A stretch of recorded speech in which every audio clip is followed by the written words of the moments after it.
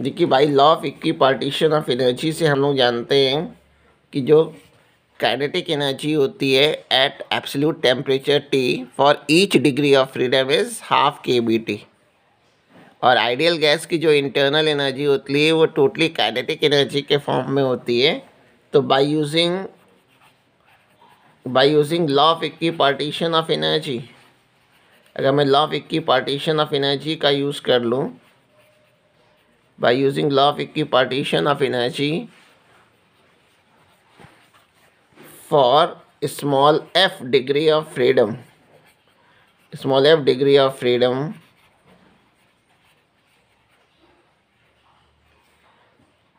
internal energy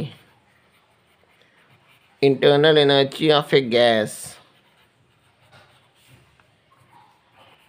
of a gas molecule. Gas molecule की अगर मैं इंटरनल एनर्जी निकालूं तो हाफ़ के बी टी होता है और डिग्री ऑफ़ फ्रीडम अगर स्मॉल एफ़ है तो एफ़ से मल्टीप्लाई कर देते हैं। अगर यहीं हम लोग वन मोल गैस लेंगे in case of one mole gas one mole gas में जो नंबर ऑफ़ मॉलिक्यूल्स होंगे in case of one mole gas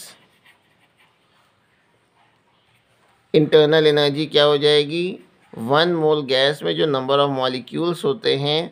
वह एवोगैड्रोज नंबर के इक्वल होते हैं। और तो हमने एवोगैड्रोज नंबर से मल्टीप्लाई कर लिया।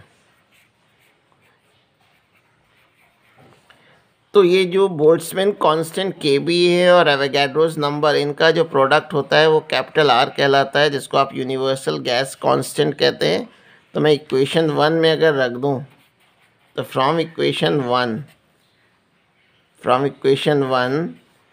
internal energy आ गई half F R T half F R T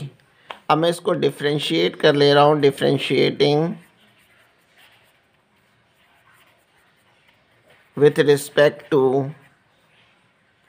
capital T तो ये D U by D T अगर निकालें D U by D T तो टी का डिफ्रेंशिएशन होता है वन